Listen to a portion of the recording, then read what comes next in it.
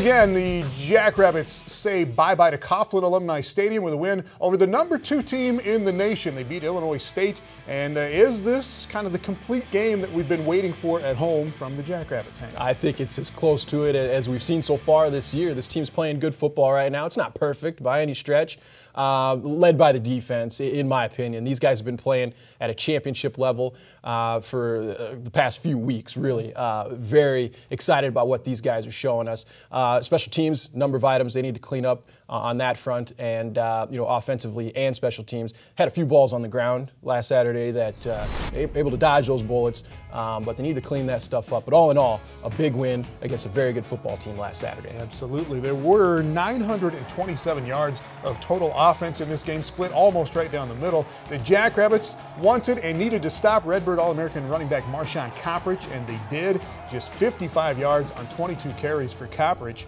Uh, T.J. Lally had nine tackles to lead the Jacks, and Jesse Bobbitt with an interception late in the first half. The Jacks turned that into a touchdown run by Taryn Christian, and the freshman did not start the game again, but he did end up playing most of it, including the entire second half. That's Eric's call. You know, I, have been around coaches that tell me what to do as an assistant, and it, it's their job as a head coach. But I never, I never felt comfortable uh, in that situation because you, you work so hard. And so Eric made the call, and I su supported him. And uh, I mean, I changed one call in the game and it backfired. So that tells you, you know, uh, what I should do as a head football coach. And coach, talking about the squib kick at the end of the first half that did not go quite as they planned it, uh, but we'll get to that in the big plays of the first half with Coach Stiegelmeier when we come back. Jackrabbit Journal on Midco Sports Network is presented by Dakota Land Honda.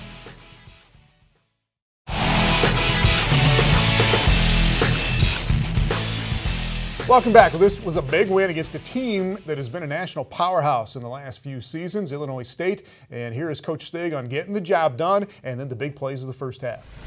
Big win uh, considering our goals and, and, where we're at, and a lot of things kind of piled up on that day. Uh, but you should get high for a little while, you know, get excited about it for a little while, but then not get caught up in that. All right, let's get to the highlights, and there were lots of them in this game. It was a great football game on a beautiful afternoon the last game on the grass at Coughlin Alumni Stadium. And this is the second possession of the game, and Illinois State interception.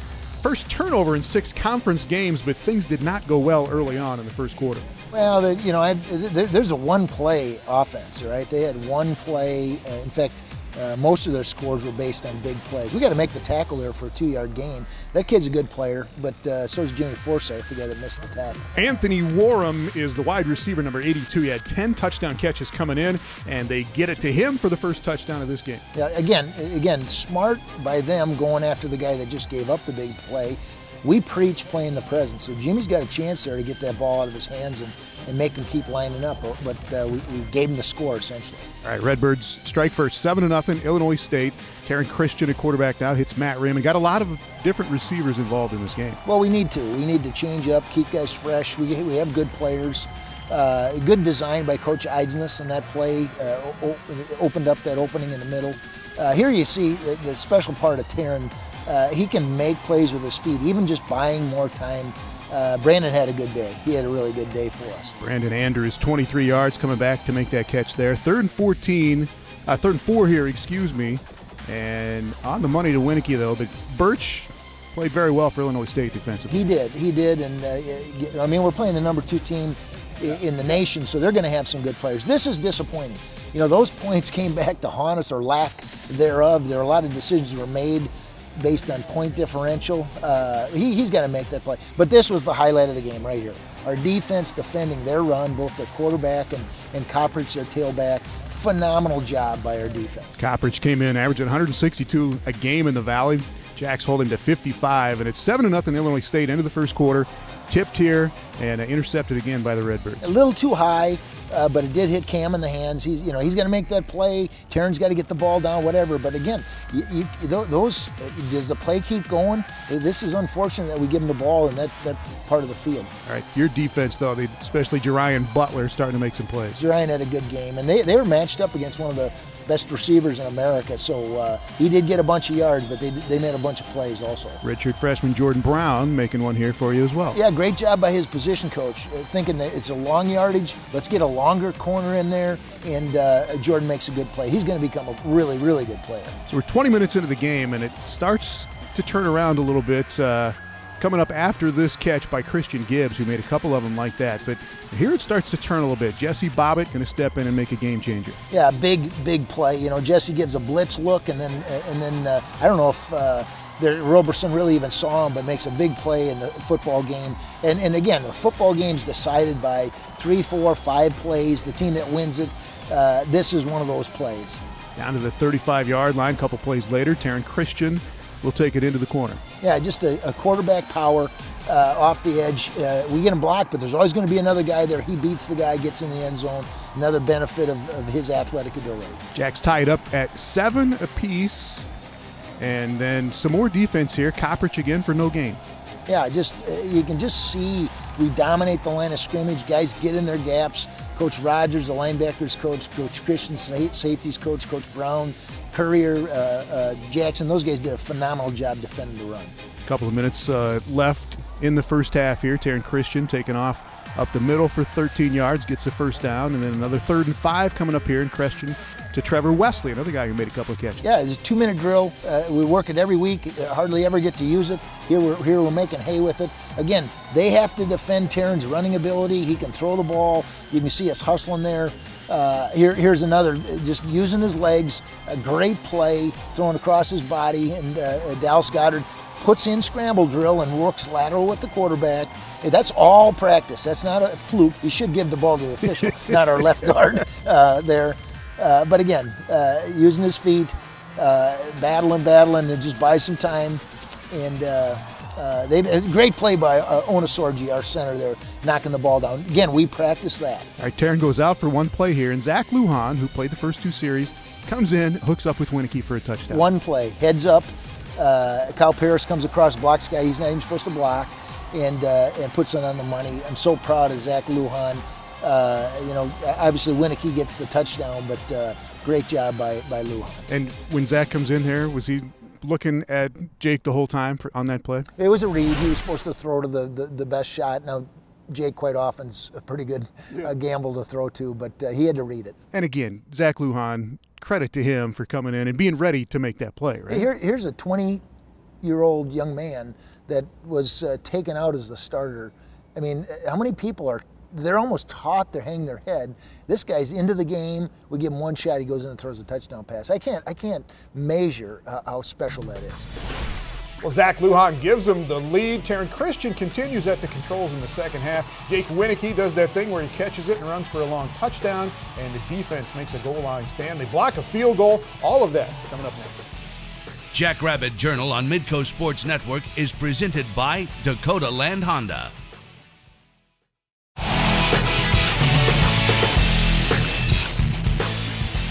Welcome back. There was some crazy stuff, as there usually is in a football game, but a lot in this Illinois State game. You had uh, the squib kick by the Jacks at the end of the first half that only got to the 50 yard line, and uh, Stig said that was my fault. I, I made that call, but you make that call, you, you think you can get that a little further than that, right? Well, you hope, yeah, that it doesn't go directly into one right. of the upbacks. But hey, you know, uh, you got a kicker out there who hasn't been on the field all year because uh, you know your, your, number one goes down. Yeah, Jay Carlson had been injured in the scrum after the Jacks had a missed extra point opportunity. So Sam Coon, the kid from Sioux Falls, comes out and has to make that kick at the end of the first half didn't go quite as planned. No, but, not exactly. Yeah, you set the Redbirds up with some decent field goals. And then they come in and they stub a field goal of their own. So there was all there was all kinds of things that could have gone either way well, in this game. Like we talked about to open the show, certainly some things to clean up. Uh, specifically, when we look at special teams, yeah. plenty of opportunities to improve. All right, uh, let's get to the second half and the Jackrabbits. Uh, Taryn Christian made a lot of big plays on the run, going to his right, which Stig says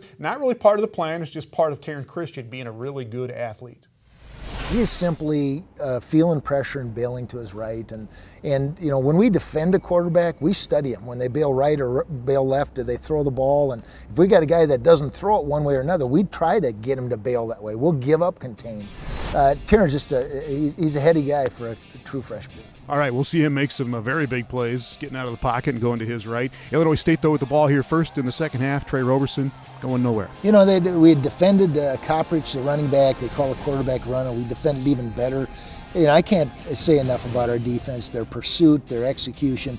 Just really, really special in this game. All right, and Here, here's Taryn going to his right. Yeah, here's Taryn, but but really good protection by the fat guys, and and he scrambles, and so Trevor Wesley comes all the way across the field uh, makes a play on the sidelines. All those things are practiced. Uh, seldom come into play here. That Here, big play in the football game. All right, enough protection again. Blitz coming. Taryn delivers it to Brandon Andrews. Yeah, you can see how poised he is. He knew that guy was coming off the edge.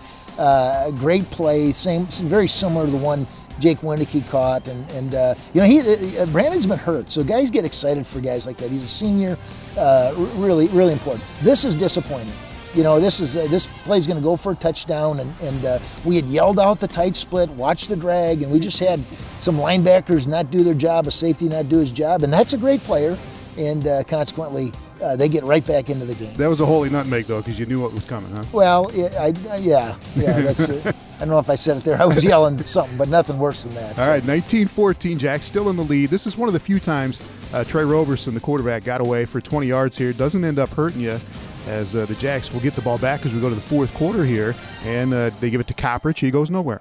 Yeah, again, you can see that we, we, dominate the line of scrimmage, and, and that's against a really good running team. And so, uh, credit, and he's reading that sometimes. So we're also taking care of the quarterback. So uh, Max blitz here. Uh, TJ gets to him. We use that a couple times in the game. And again, when, when, when it's called, I, I close my eyes. I'm not a blitz guy, so uh, uh, did, did a really good job. And then the Jack took the ball back here. Jake Wieneke shaking off Josh Birch and going 74 yards for a touchdown. Yeah, wide open, catches the ball, corner catches up. He's got the strength, the athletic ability to, to really physically run out of the cornerback's hands. And, and, again, another huge play in a tight football game. Second touchdown for Wieneke in the game. He's got 26 touchdowns already in his career. Jack's up 25 14, and then Warrum gets loose here on a, on a double move. You know, we got to get this guy. We got to get him sacked because the double move, first of all, the, cor- the, the safety's got to be on that upfield shoulder of that receiver, but he had a lot of time. He stepped up. You know, again, defense is always everybody doing their job. And then a series here, coach, where every inch makes a difference. Stop Coprich right at the goal line. Huge, huge play in the football game. Uh, never give up. Never, never. You know, you talk about inches. Uh, some special things are going to happen here based on inches. Uh, here they're kind of trying to run a quarterback sneak, and somebody's messed up. They jump off sides. now, they, now it becomes yards uh, for us. And they, yeah, they get into a third goal after this. Even after penalty, you stop them there. It ends up in a field goal attempt. And who blocks this? Uh, Kellen Soulek. Uh, you know, uh, Jesse Courier uh, when he teaches the every week when he teaches the field goal PAT block, he talks about you don't know who's going to be the guy that comes free, come hard, and there's one of our fat guys in the middle getting his hand up and blocking the the field goal. So, like an interception last week, blocked field goal this week. Uh, ISU gets the ball back, though. This looked like a TJ Lally strip and should have gone the other way, but they call it back. Yeah, there's a lot of confusion on that play with the officials. And, and again, I'm glad I'm a coach.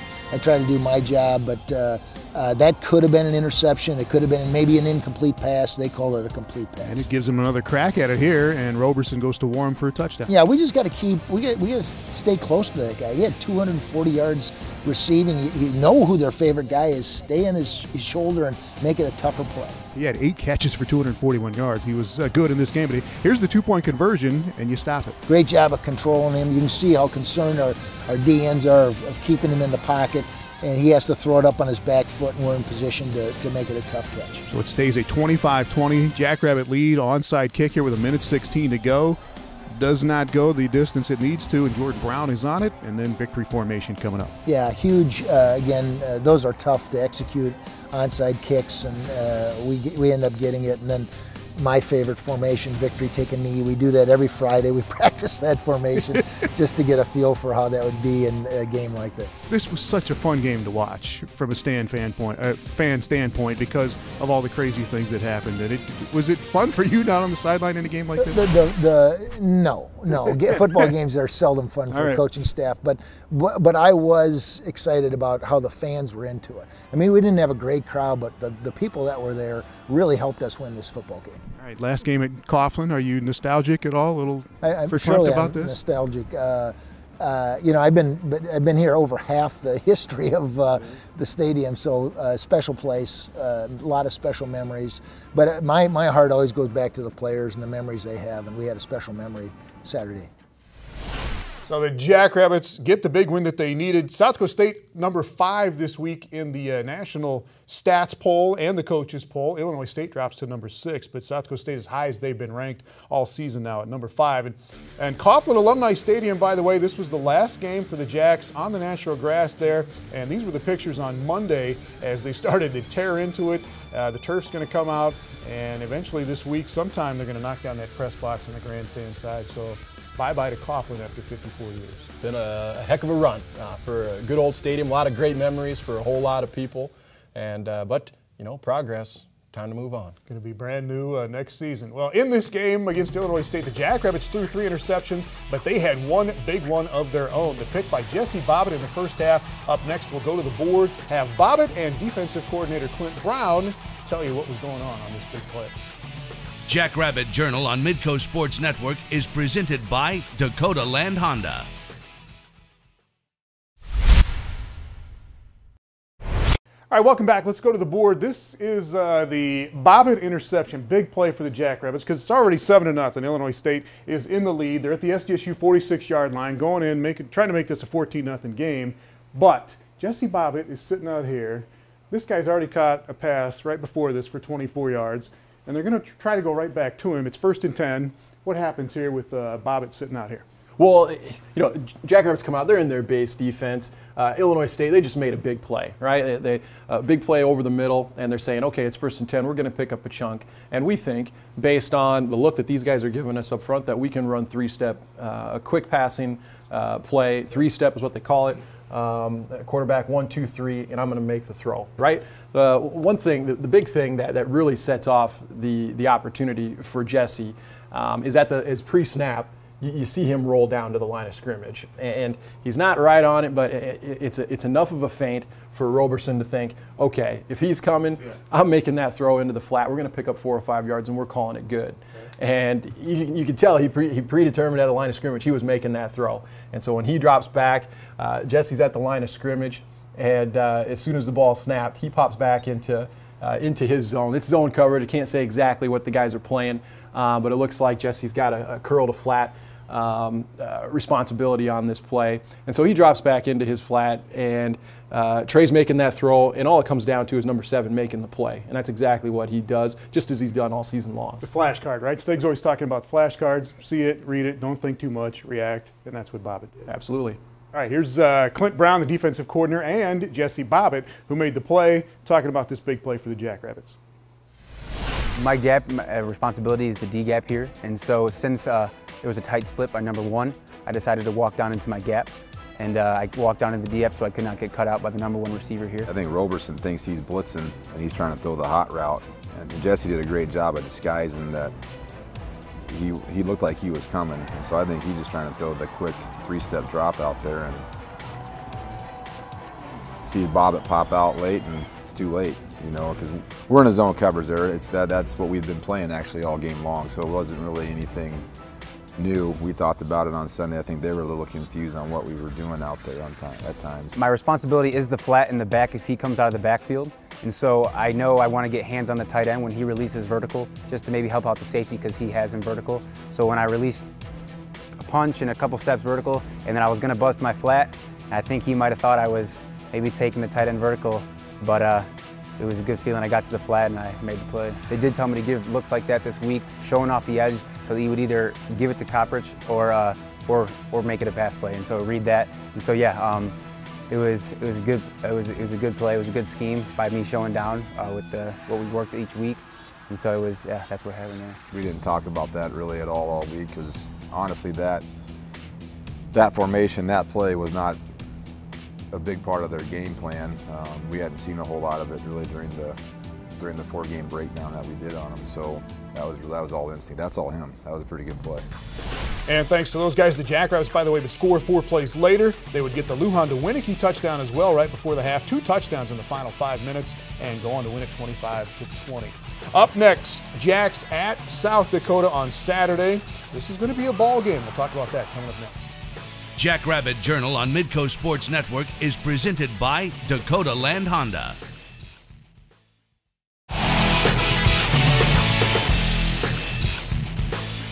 It is the Showdown Series game this Saturday, South Dakota State at South Dakota. We will have it live here on Midco Sports Network. Uh, pregame show at 12:30 and the game at 1 o'clock.